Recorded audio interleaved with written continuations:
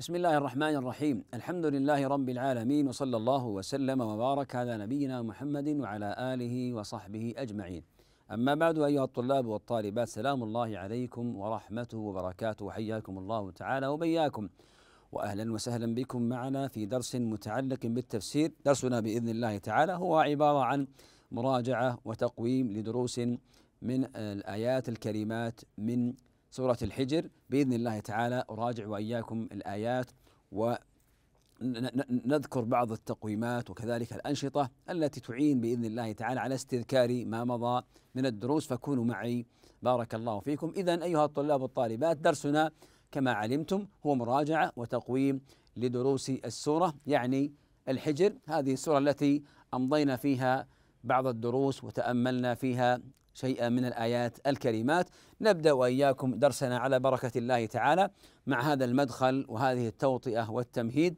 هنا قد انتهينا بحمد الله تعالى من الوحدة الخامسة من هذا المقرر والتي كانت بعنوان تفسير سورة الحجر. وفي هذا الدرس بإذن الله تعالى سنأخذ وإياكم مراجعة وتقويما لما سبق أن درسناه. أبدأ وإياكم أيها الطلاب والطالبات مع هذه الآيات الكريمات التي ترونها على الشاشة وقد تلوتها على مسامعكم سابقا لكننا بإذن الله تعالى نتأمل ونراجع وإياكم شيئا من معاني الكلمات. فتأملوا معي في معنى قول الله تعالى في شيع الأولين. ما المراد بقوله سبحانه شيع الأولين؟ أحسنتم نعم في أمم الأولين وأتباعهم السابقين. في قوله سبحانه وتعالى نسلكه. ما المراد بقوله جل وعلا نسلكه؟ أحسنتم أي ندخله. والمراد التكذيب والكفر والاستهزاء. فإن الله تعالى بقدره جل وعلا وحكمته يدخل التكذيب والكفر لأنهم لما أعرضوا عن ما جاءت به الرسل جعل الله تعالى في قلوبهم هذا التكذيب عقوبة لهم على إعراضهم عما جاءت به الرسل عليهم السلام في قوله سبحانه وتعالى قد خلت سنة الأولين. ما هي السنة؟ التي سنها الله تعالى في إهلاكهم بسبب كفرهم وتكذيبهم بما جاءت به الرسل عليهم السلام. في قوله تعالى يعرجون ما معنى ذلك؟ يعني يصعدون فالعروج هو الصعود والرقي إلى أعلى. في قوله سكرت أبصارنا يعني سدت ومنعت من الإبصار. هذا ما يتعلق بمعاني الكلمات في الآيات التي معنا. بعد هذا ننتقل أيها الطلاب والطالبات وإياكم إلى هذا التقويم وهو عبارة عن سؤال. كونوا معي في تركيز مع هذا التقويم. السؤال يقول ما واجب المسلم تجاه الرسل عليهم السلام؟ الرسل أرسلهم الله جل وعلا إلى الخلق مبشرين ومنذرين. فما الواجب علينا جميعا تجاه هؤلاء الرسل؟ الجواب هو ماذا؟ الإيمان بهم جميعا. لا نفرق بين أحد من رسله. فالواجب علينا جميعا أن نؤمن بالأنبياء والرسل كلهم. من ذكرهم الله تعالى في كتابه على وجه التعيين ومن لم يذكره منهم كما جاءت الآيات بذلك. أيضا التصديق بما جاءوا به من عند الله. جاءوا بالدعوة إلى التوحيد جاءوا بالشرائع. نصدق أنهم جاءوا بالحق المبين من الله سبحانه وتعالى وأنهم أيضا مرسلون من الله عز وجل. إذا هذا ما يتعلق بالواجب علينا تجاه الرسل عليهم السلام.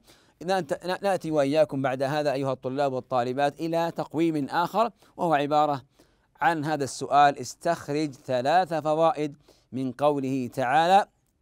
ولو فتحنا عليهم بابا من السماء فظلوا فيه يعرجون لقالوا إنما سكرت أبصارنا بل نحن قوم مسحورون. وهذا يجعل الطالب والطالبة يتأمل في الآيات حتى يستخرج الفوائد والأحكام. فنأتي إلى أول فائدة من الآيات. هنا شدة عتو المشركين وإنكارهم للآيات. فهذا يدل دلالة واضحة على هذا المعنى من الآيتين اللتين معنا. أيضا فائدة أخرى نستخرجها من الآيتين أن طلب المشركين للآيات ليس للاسترشاد وإنما من باب المكابرة والعناد. اذا هم يريدونها ماذا؟ عنادا واستكبارا وتعجيزا للرسل عليهم السلام. في الفائدة الثالثة التي بعدها أن من سبيل رد المشركين الآيات الكذب ولو على أنفسهم. يعني يحاولون بشتى الوسائل رد ما جاءت به الرسل ولو أنهم يكذبون على أنفسهم حتى يردوا ما جاءت به الرسل. وهذا من تلبيس الشيطان عليهم وصده إياهم عن الحق. إذا هذا ما يتعلق بهذا التقويم. ننتقل أيها الطلاب والطالبات إلى أيضا تقويم آخر من من التقويمات المعينة لنا على التدبر للآيات. هنا بين ما انفرد به القرآن الكريم عن الكتب السماوية الأخرى هي كلها من عند الله. لكن ما الذي يميز كتاب الله تعالى القرآن الكريم عن الكتب الأخرى من التوراة والإنجيل والزبور؟ نأتي إلى الجواب هنا. أنه محفوظ من الله عز وجل وإنا له لحافظون. إذا تكفل الله تعالى بحفظ كتابه الكريم ولم يتكفل بحفظ غيره بل جعل حفظ التوراة والإنجيل والزبور إلى أهل الكتاب كما قال جل وعلا بما استحفظوا من كتاب الله أيضا نأتي إلى هذا الأمر الآخر وهو أن القرآن الكريم معجز بلفظه ومعناه ونظمه. فيه إعجاز وتحدى الله تعالى به العرب أن يأتوا بمثله أو يأتوا بعشر سور مثله وأن يأتوا كذلك بسورة مثله وعجزوا عن ذلك لأنه تنزيل من عند الله سبحانه وتعالى. نأتي أيها الطلاب والطالبات إلى آيات أخر من الآيات التي سبق أن درسناها والآيات بين أيديكم على الشاشة تأملوا في الآيات وناتي على أبرز المعاني التي لا بد من بيانها واستذكارها لما سبق أن بيناه سابقا. هنا في قوله تعالى ولقد جعلنا في السماء بروجا ما المراد أيها الطلاب والطالبات بقوله بروجا؟ أو ما هي البروج؟ البروج هي منازل الكواكب السيارة وسماها بروجا لماذا؟ لارتفاعها. فالبرج مرتفع وأخذ تسمية البرج برجا لأجل ارتفاعه. في قوله تعالى إلا من استرق السمع. ما المراد بقوله استرق السمع؟ يعني اختلس الأخبار من الملأ الأعلى. في قوله فأتبعه شهاب. ما المراد بهذه الجملة؟ أحسنتم أدركه ولحقه شعلة من نار حتى تصيبه وتقتله. في قوله جل وعلا وألقينا فيها رواسي. ما المراد بالرواسي؟ هي الجبال الثابتة لتحفظ الأرض لئلا تميد بالعباد. أيضا ننتقل إلى قوله جل وعلا وأنبتنا فيها من كل شيء موزون. ما المراد بقوله موزون؟ أحسنتم مقدر بحد معلوم. ثم نأتي إلى قوله وما ننزله. ما المراد بهذه الآية؟ أي لا ننزل المقدر من شيء من كل شيء من مطر أو غيره إلا بقدر معلوم علمه الله سبحانه وتعالى. هذا ما يتعلق بهذه الكلمات. بعد هذا ننتقل أيها الطلاب والطالبات وإياكم إلى هذا التقويم وهو عبارة عن سؤال. تأملوا في السؤال وحاولوا في الإجابة. كيف حفظ الله السماء من الشياطين؟ كيف حفظ الله السماء من الشياطين؟ الجواب كما علمتم أيها الطلاب سلط عليهم الشهب تسقط عليهم فتصيبهم فيهلكون. فأتبعه شهاب مبين كما أخبر الله سبحانه وتعالى. نأتي إلى هذا التقويم الآخر وهو عبارة عن سؤال لماذا يمتن الله على عباده بما سخر لهم من أسباب المكاسب وأنواع المعايش؟ الله تعالى ذكر في الآيات نعما عظيمة أنعم بها علينا وامتن بها علينا ما الحكمة من سرد وتذكير العباد بهذه النعم. الجواب كما تعلمون أيها الطلاب والطالبات كي يشكروه ولا يكفروه ويصرفوا هذه النعم في طاعة الله سبحانه وتعالى. إذا علينا أيها الطلاب والطالبات أن نشكر الله تعالى على ما أنعم به علينا من هذه النعم الظاهرة والباطنة لأن لأن النعم إذا شكرت قرت وإذا كفرت فرت. نسأل الله تعالى السلامة والعافية. نأتي أيها الطلاب أيضا إلى تقويم آخر من التقويمات المفيدة بإذن الله تعالى. ومع هذا السؤال ما المظاهر التي مكن الله بها الإنسان من الحياة على الأرض؟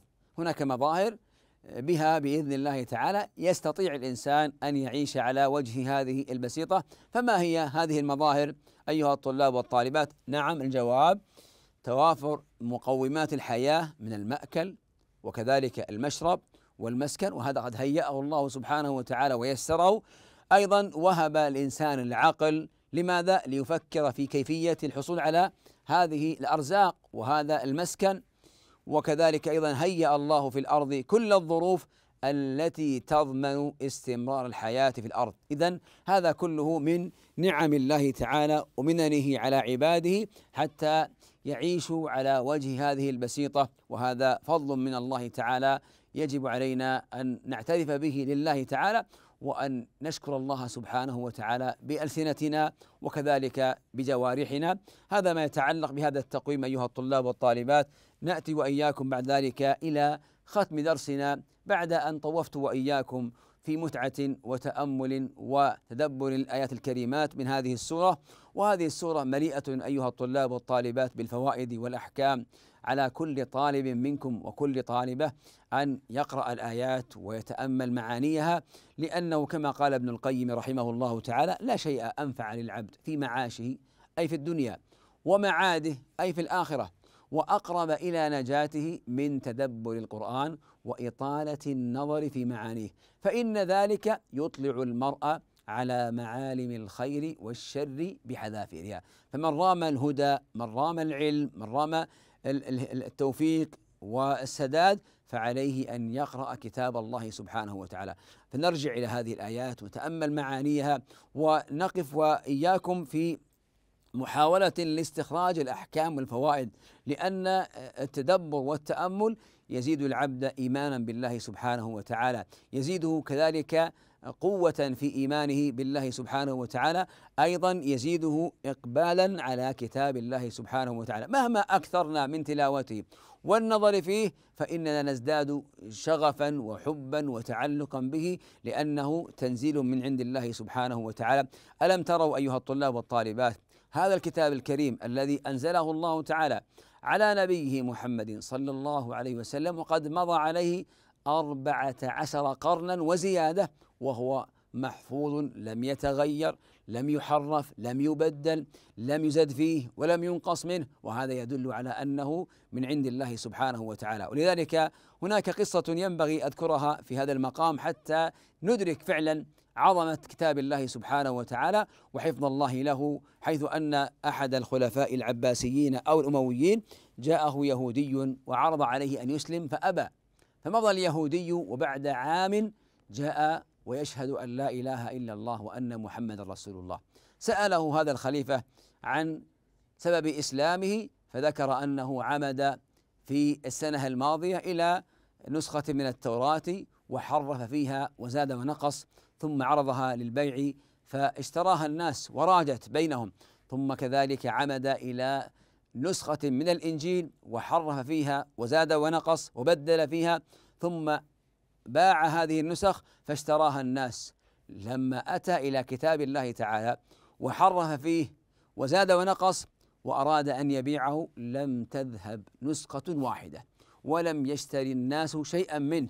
فأدرك أن الكتاب محفوظ بحفظ الله تعالى فجاء فأسلم عند هذا الخليفة وهذا يدل على حفظ الله سبحانه وتعالى لكتابه. فعلينا أن نحفظ كتاب الله تعالى بصدورنا وكذلك نحفظه بالعمل به بجوارحنا وأن نكون في حياتنا كلها نسير على وفق كتاب الله سبحانه وتعالى ونتأمل معانيه نزداد باذن بإذن الله تعالى بذلك إيمانا وكذلك يحصل لنا الثواب والأجر من الله سبحانه وتعالى. هذا ما تيسر ذكره وإعداده حول هذه المراجعة والاستذكار لآي هذه السورة. أشكر لكم ختاما أيها الطلاب والطالبات طيب المتابعة وحسن المشاهدة. ألقاكم على خير بإذن الله تعالى. والسلام عليكم ورحمة الله تعالى وبركاته.